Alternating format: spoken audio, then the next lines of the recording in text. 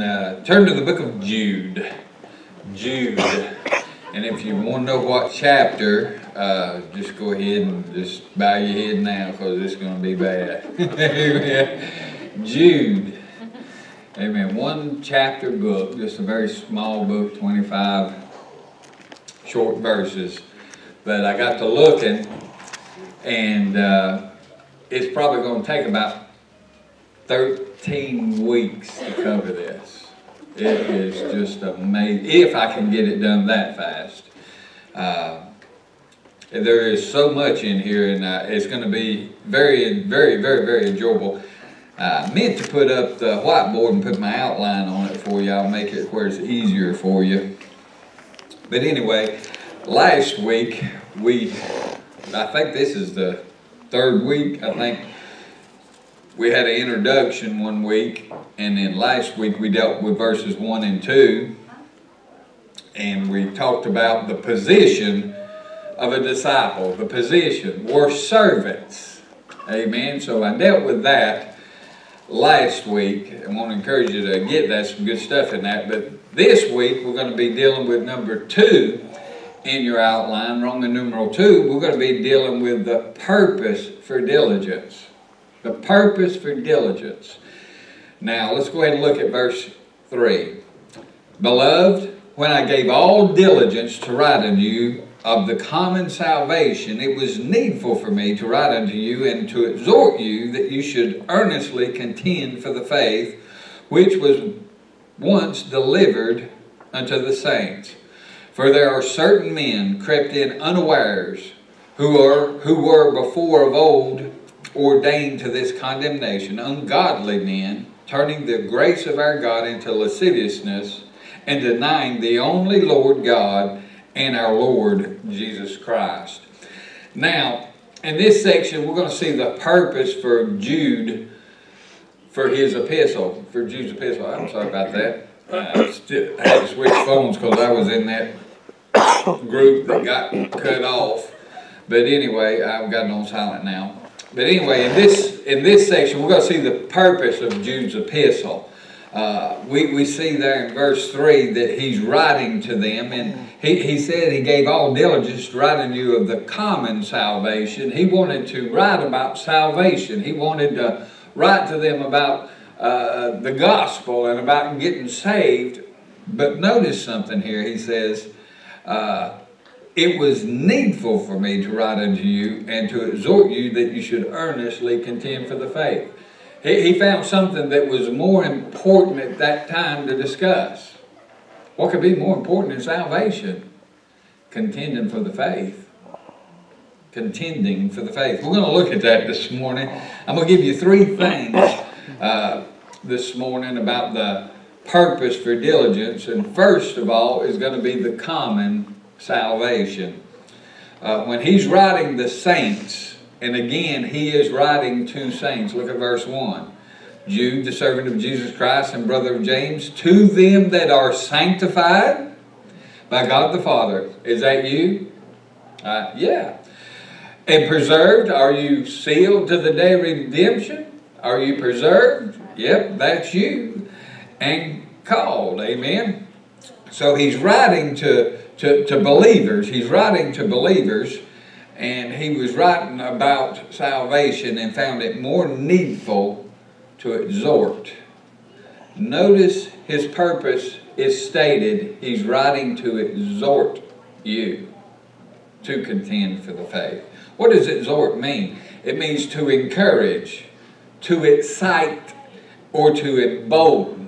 He wanted to encourage you, embolden you, excite you to action. And what action was he wanting? You contending for the faith. Contend for the faith. Why?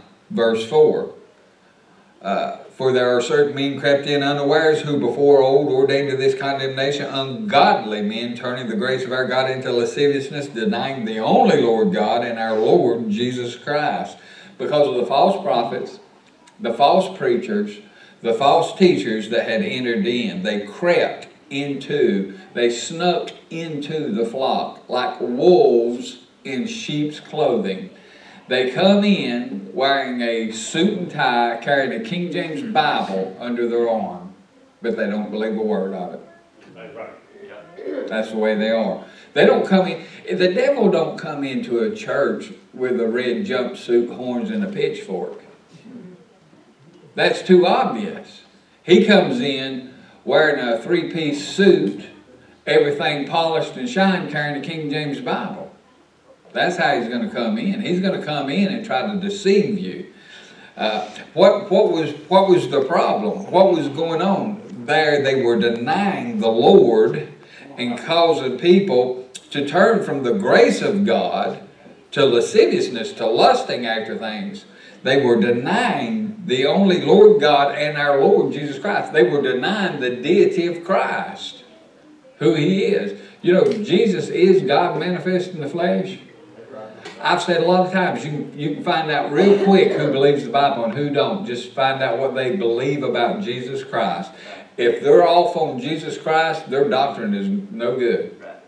If you don't have Jesus right, nothing else is going to be right. And that's, that's a good way to look at it. Jehovah Witnesses, what do they believe about Jesus Christ? They don't believe he's uh, God manifested in the flesh. They don't believe in the Trinity. They don't believe that. So their doctrine is off. They don't even believe in hell before it's over. You see what I'm saying? The Mormons, what do they believe? They believe he's the brother of the devil. They are brothers. They were both created beings. Uh, uh. You, you see what I'm saying?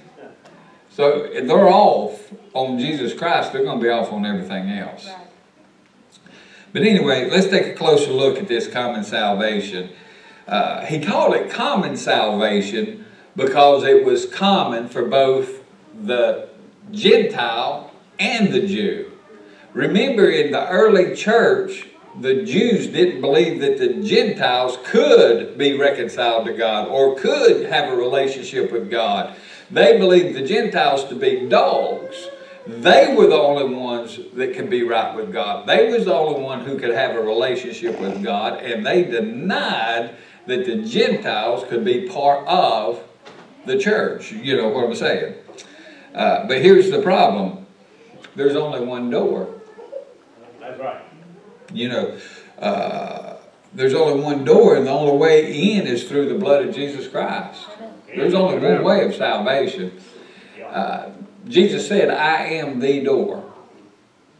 You think about Noah's ark, a picture of the Lord Jesus Christ, the picture, a picture of salvation, there was only one door. There wasn't multiple doors. There wasn't a Right. door for the snails and a door for the giraffes.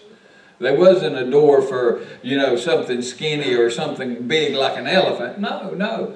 There was one door. And Jesus said, I am the door. There's only one way. And Jesus said, I am the way. Today, people believe if you're sincere, if they're really sincere, then, then, then, then God will let them in. That, you know, if they're really sincere, they'll, they'll make it to heaven. The problem is, Jesus said, No man cometh to the Father but by me. Right. He is the only way. There isn't a Buddhist way, a Muslim way, a Hindu way. There isn't a Baptist way or a Catholic way or holiness way. There isn't a Presbyterian way. There's one way. Jesus Christ. Amen. We go, everybody gets saved the same way. It's a common salvation. Now, let me show you that. Look at Acts 4. Hold your place there, but look at Acts 4.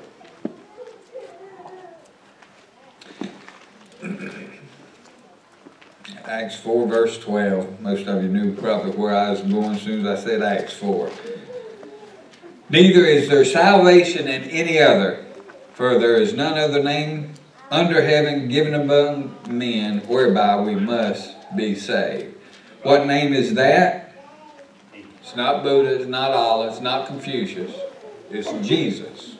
Amen? Jesus is the way. Uh, turn on over to Galatians 3. Galatians chapter 3.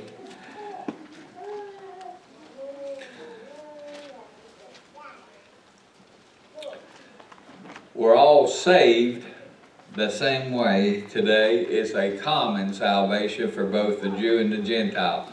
Their traditions, their holy days, their, their, their sacrifices, their traditions will not save them. They must get saved just like we do today. Uh, and once we're saved, we're in the church. Amen. There's neither Jew nor Gentile in the church. Look at verse 28.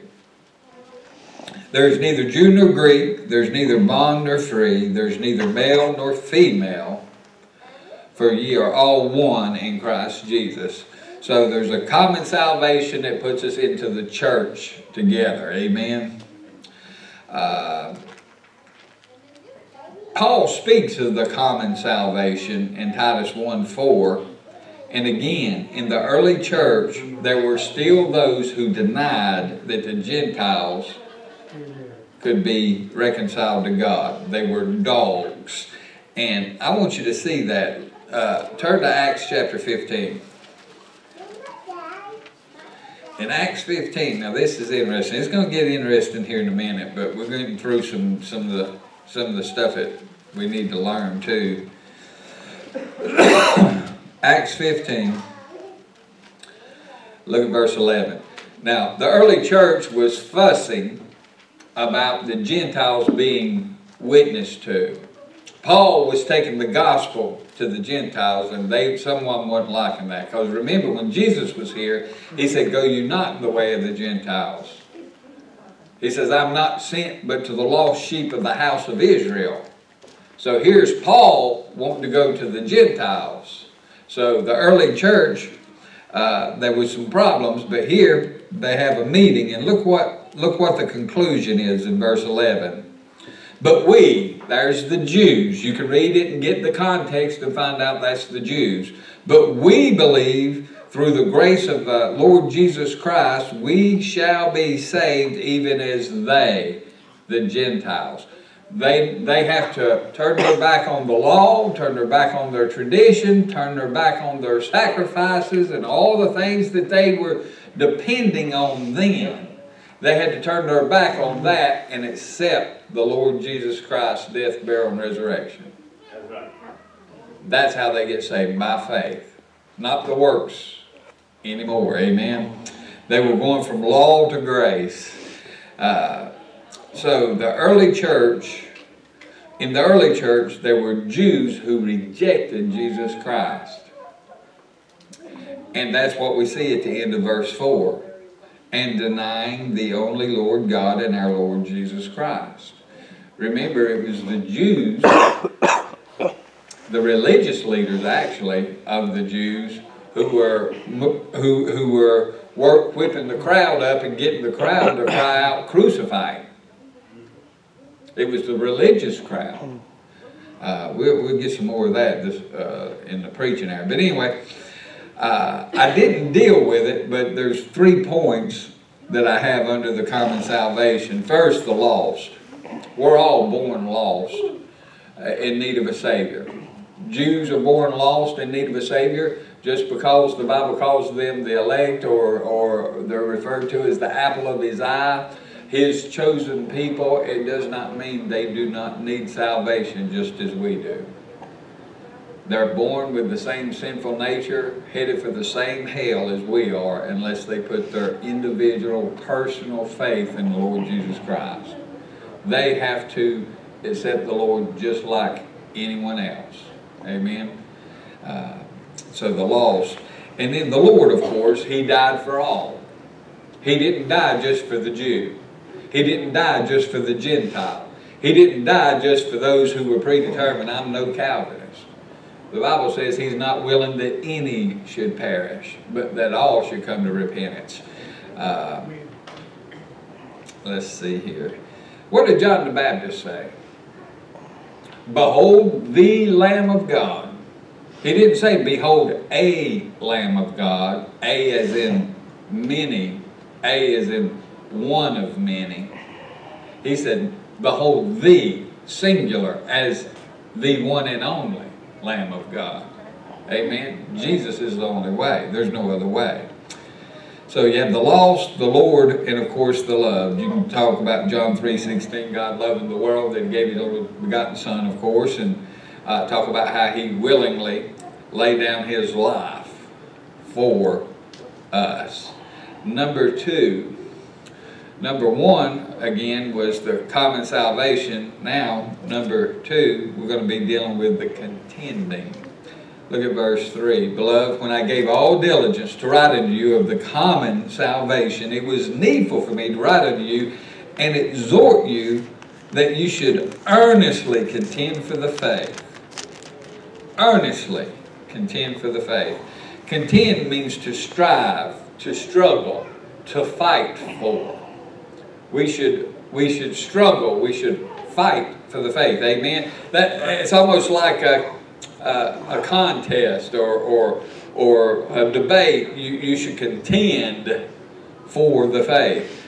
We're living in a day and age now where everybody talks about tolerance. Tolerance. Uh, the problem is everybody's tolerant of sin, but no one's tolerant of truth today. Yeah, yeah.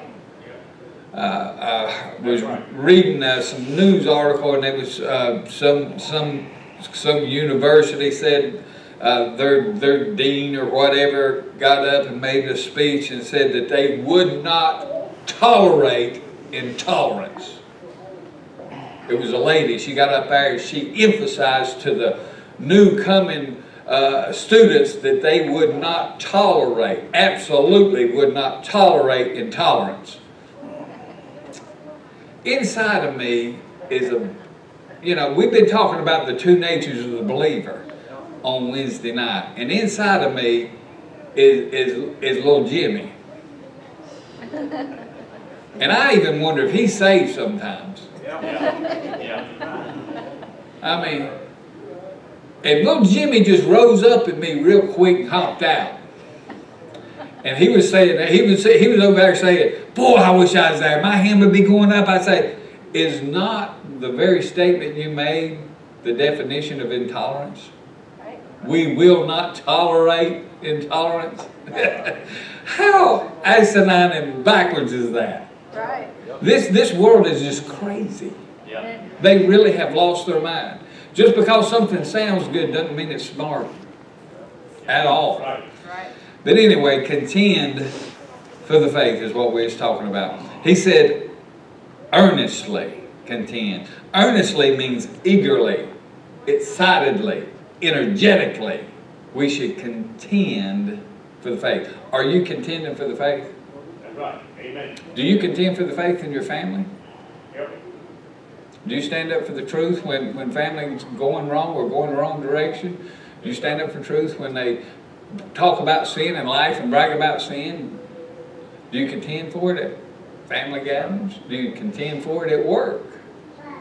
when they come in bragging about how they've drank all weekend or how they've sinned or done this or partied all weekend. Do you contend for the faith when they try to pull you in? Amen? Yes. Contend for the faith. Uh, what faith? What faith is he talking about there? Notice he says contend for the faith. What faith? Turn to 1 Corinthians.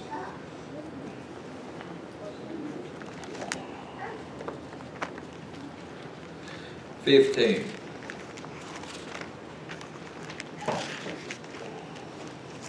Notice it said, contend for the faith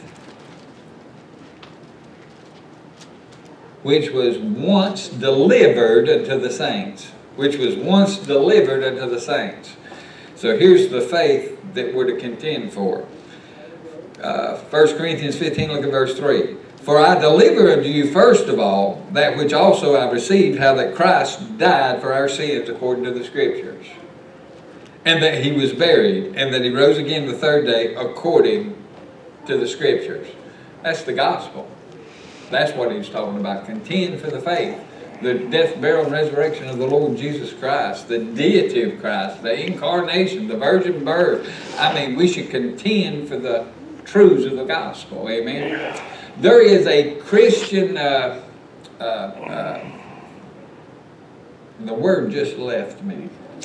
I know I'm talking about apologetics. There's a Christian discipline, that's it, that is uh, in the study of the Word of God called apologetics. And what it is, it's, it's learning to defend the faith. Apologetics is learning to defend the faith. And one of these days, I would love to teach a class on apologetics. The only problem is, uh, apologetics is very interesting to me. I love it. But, but, it, but if you're not one that likes to study, that would be a boring class. Because you are learning how to defend there is a God. He created everything, and He's the Savior of us all. Amen. If you're saved, He's going to be the Savior. You're defending what you believe. But the first thing you have to, the first thing this question is, how do you know there's a God? How do you know God created anything? You, you see what I mean? To be able to answer that without just relying on Scripture. See, my faith is not a blind faith. I'm not just blindly following what I've been taught. I mean, I do study it, and I think that we ought to be uh, able to give an answer to every man according to the hope that's in us. Amen. That's what the Bible says that we should be able to do, and we should be prepared.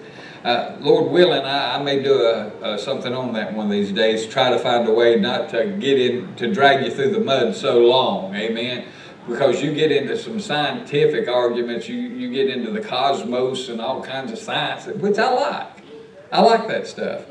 Uh, I, I like. I mean, to me, it's like reading a funny paper. Amen. A hundred million billion years ago. You know, I'm thinking, okay, here we go. I mean, it's, it's getting good right from the get-go, amen? But anyway, uh, we're to contend for the faith. The Christian life is likened to a warfare. You can find that in 1 Timothy 1.18. Uh, it's likened to a battle, 1 Corinthians 14. The Christian is called a soldier, 2 Timothy 2 and verse 3. We are told to put on the whole armor of God. Again, reference to us being in a warfare. This Christian life is not supposed to be a life that where we just sit down and, and leisure and just look for pleasure. It's supposed to be a battle. Are you battling? Are you fighting for the faith? Are you contending for the faith? Or are you just riding the pew? I mean, basically, that's what a lot of Christians do today. We're to contend for the faith. I'm going to give you a couple of things about that contending. First, the requirement. Notice, he earnestly exhorts you to contend. It is a requirement of us all. It's a requirement. It's a requirement of us all. Not just the preachers. Everybody thinks, well, it's the preacher's job. The preacher should contend for the faith. It's the preacher that should defend the faith. No, it's the Christian. Who's he writing to? He is writing to those who are saved and sanctified and preserved. He's, he's writing to believers. That's you. That's me.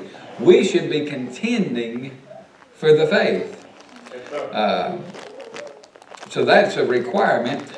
Now, the reasons. I'm going to give you about five reasons. The reasons. So, A is requirement, B is reasons. And then under it, you're going to have five things listed. First of all, it's a command of the Savior. You know, he when he ascended up, he, he said to go into the highway, wait a minute, he said to go into all the world and preach the gospel, didn't he? Most people remember the Great Commission. You can go to Acts 1 8 and you can get ours. We're, we're, to take, we're to take the gospel to the world. Yeah. So we have the command of the Savior to do it. That alone should be enough. Right. I shouldn't even need two, three, four, five. That alone should be enough to get us all studying and preparing and contending and witnessing Amen? That alone, just the Lord commanded it. But secondly, how about this one? The, con the condemnation of sinners. If the lost die without the Lord Jesus Christ, they're going to hell. That's your lost loved ones, your lost co-workers, your lost neighbors, your lost friends, your lost family. If they die without Jesus Christ, they're going to hell. That should motivate you. That should cause you and stir you and make you want to contend for the faith. Mm. In fact, we're told to compel them to come in. Luke Yeah. 14. Go in the highways and hedges and compel them to come in that my house may be Yeah. full. That's in Luke 14. How about number three? How about the compromising of saints? You have the command of the Savior, the condemnation of the sinner, and the compromising of the saints. Looking around and seeing that Christians live like the world, sin like the world, look like the world, sound like the world. You know, you can't tell the difference between Christian and the world anymore. Used to be, you could. Their speech was different. Their dress was different. They were different. Their music was different. Where they went, their entertainment was different. Not today. You can't tell the difference between uh, the, the world and the church anymore. There used to be a gap, a gulf fixed between them. But now they're so intermingled and blurred you can't tell who's who. That should be enough to make you want to contend for the faith. Amen. How about number four? The corruption of the scriptures.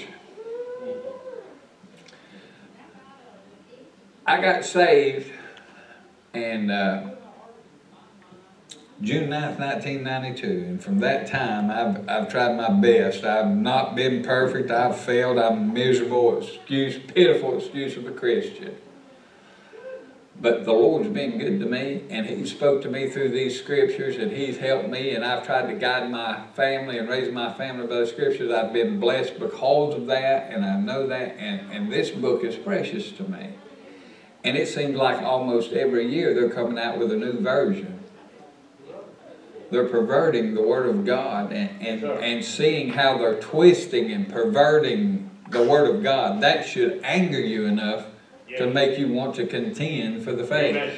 Do you know, I believe the King James Bible is the Word of God. Amen. Amen. You know what, you know what the world's done?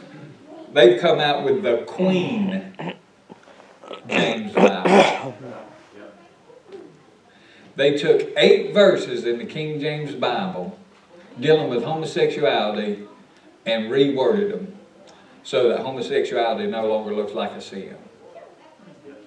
And they called it the Queen James Bible. I'm not lying to you. You can look it up. You can Google the Queen James Bible and buy one if you want it. I would suggest giving them a pity for that filth. Right. You know, the Bible says, well, if they only changed eight verses, a little leaven leaveneth the whole lump. That's right. Amen. They, they perverted the Word of God. And, and we need to, and I'm contending for the faith right now by pointing that out. You know what I mean? When you hear someone bring up another Bible, say, what's so special about it?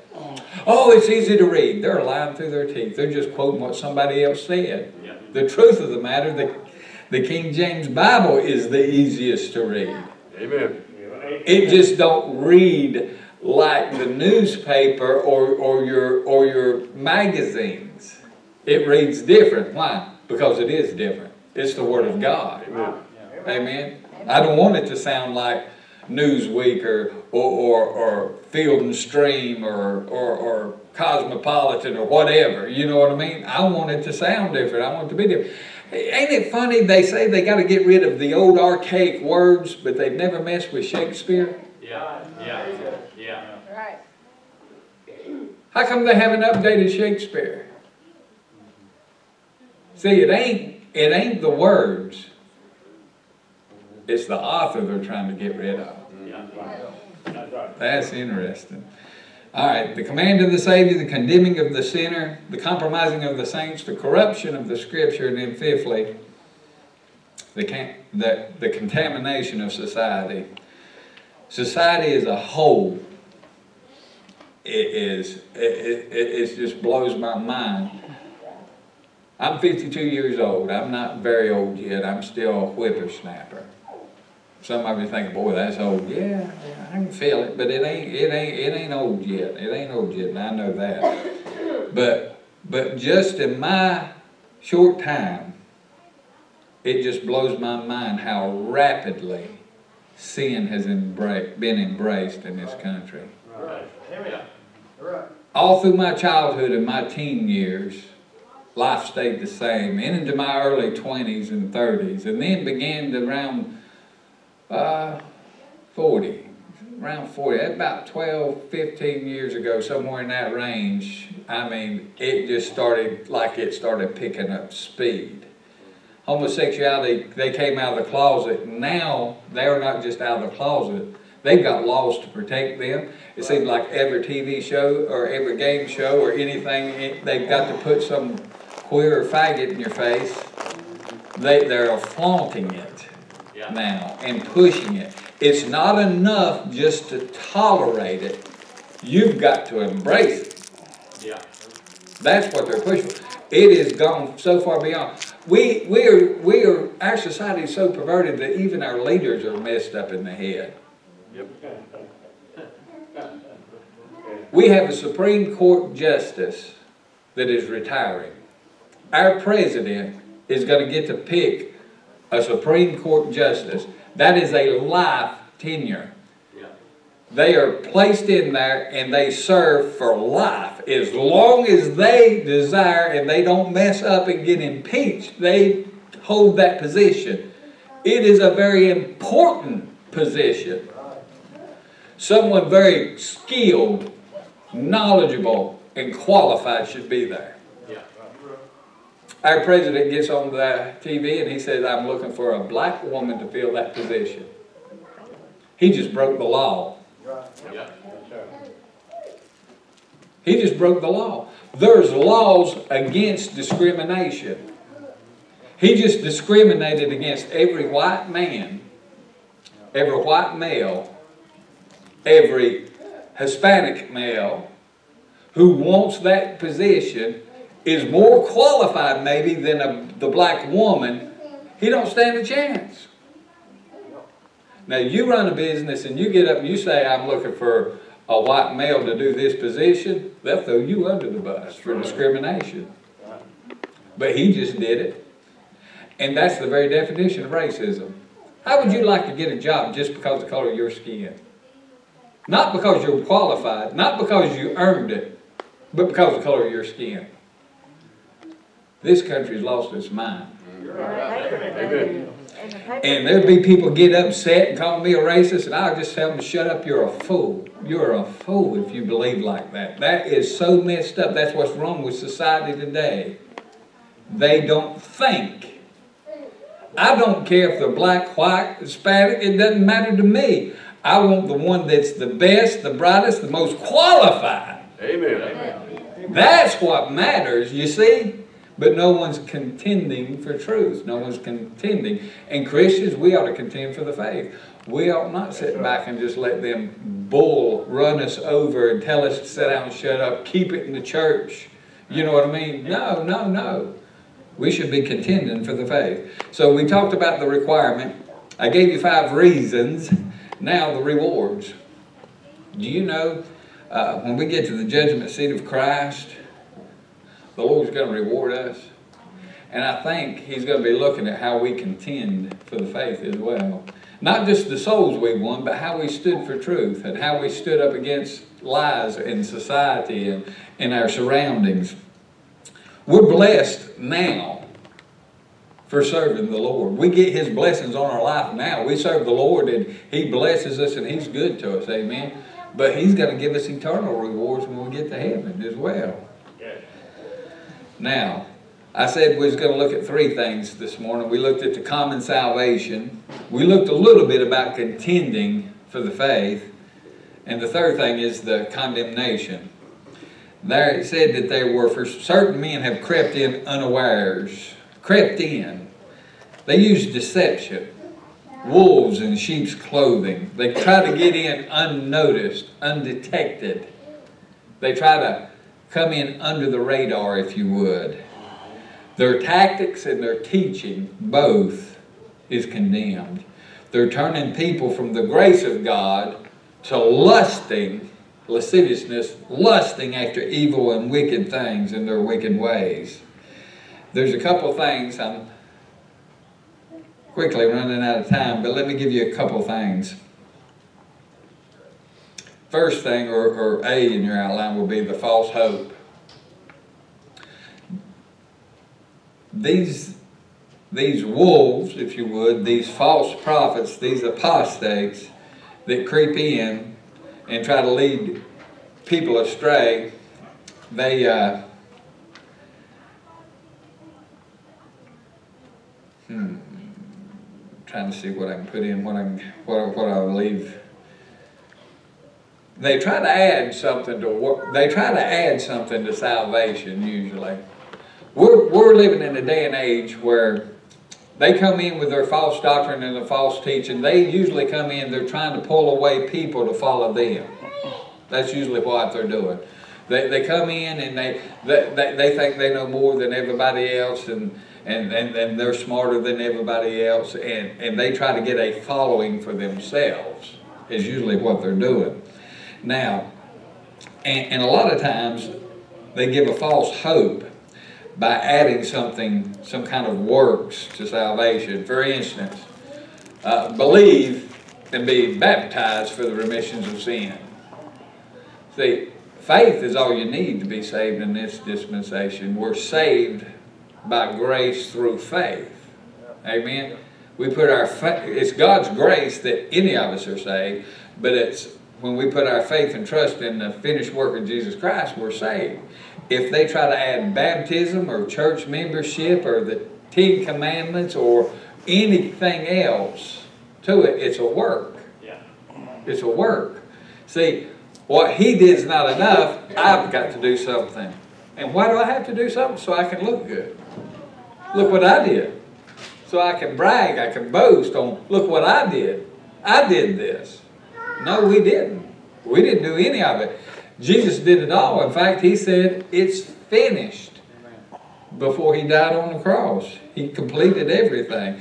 They give a false hope, and a lot of people, a lot of people believe they're going to heaven on their own pretense, on their own works, by their own hand. A lot of times they believe they're the only ones right with God too. Now, I, am no spring, I, am no old person, but I'm no spring chicken either. I've been in it long enough. I've seen, I've seen them blow in and blow out of churches, and they come in and they think they're the only ones right with God. They think everybody else needs to get right with God. They're the only one right with God. And usually they're not faithful. Usually they blow in and out. Usually they stir up trouble. I mean, seriously, that's usually those that come in and they try to give you a false hope. Uh, they, they try to, they say, if you follow me, you, you'll be right with God. I, I've told you before, I love this church. I think it is the best church. Amen. But we're not the only church with the truth. You remember poor old Elijah? He come out, woes me, I'm the only one serving you, Lord. The Lord said, shut up. I got 7,000 that haven't bowed the knee to Baal. Just because you don't know them don't mean anything.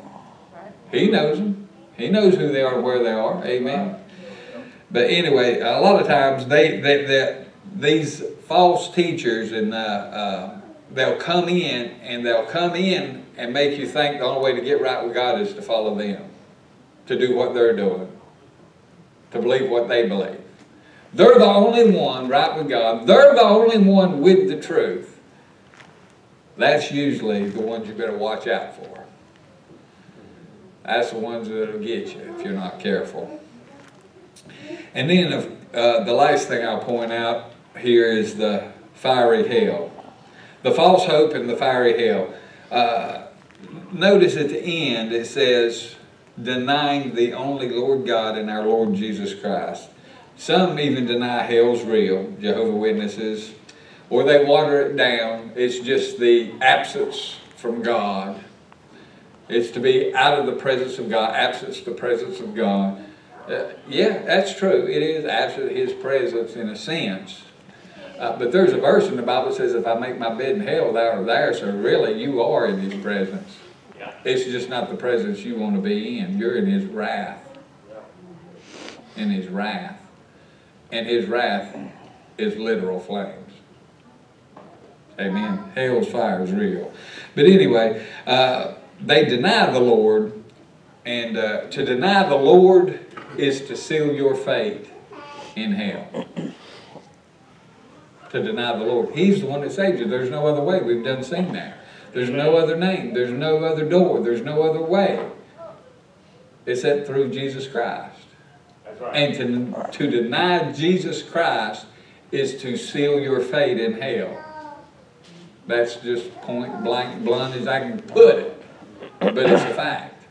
And you know what this world needs to hear? They need to hear there ain't but one Jesus Christ. I don't care what Oprah says. Oprah was on TV and somebody's uh, witnessing, talking to him, asked a question. She didn't agree with him. That's not my Jesus. I don't know who your Jesus is, but mine's the Jesus of the Bible, and he ain't the same one the world talks about. Amen. Amen. So Oprah and the world have one Jesus. The Bible tells of another one. Anybody that tries to deny the deity of Jesus Christ is a false prophet. Jesus is God manifest in the flesh. And to try to put the God of the Old Testament against Jesus of the New Testament and say they're different, there's something wrong with them. God's all, Jesus is all love and he'd never do anything. Well, that Old Testament God was a God of wrath. He would say, go in and kill them all, men, women, children, kill the animals even. Don't let anything live. But that's not Jesus of the New Testament. Oh, yes, that's the same thing. That's the same one. The same one that was so angry with his people that he allowed judgment on them is the same one that died on the cross for you. Amen. Amen. And the same one's going to judge you one day. Yeah. That's the same God. Yes, sir. Ain't but one. But anyway, we need to contend for the faith. We have a common salvation. All right, any questions there? I'm, I'm done. I'm out of time. Any questions? You can't contend for anything that you don't know. Amen. Boom. That's it. You can't contend for anything you don't study. You need to study so you can be ready to give an answer. Amen. Amen. All right. Lord willing, we're getting into the interesting stuff next week. We're going to start it next week. It's going, he's going to start giving examples of some of these ungodly men, these false prophets that have entered in unaware. He's going to start giving examples. So we'll start dealing with them next week. If you want to read ahead, go ahead and read ahead. All right. Father, Lord, do want to thank you for this uh, opportunity to open your word. Pray, Lord, that you just uh, use it now, Lord, to help us prepare our hearts, Lord, for the message. Be with Brother Ryan as he preaches, be with the choir as they sang. And Father, just fill me with your spirit. Use me during the preaching hour as well. And we, we'll praise you and thank you for all that you do. In Jesus' name, amen. Amen.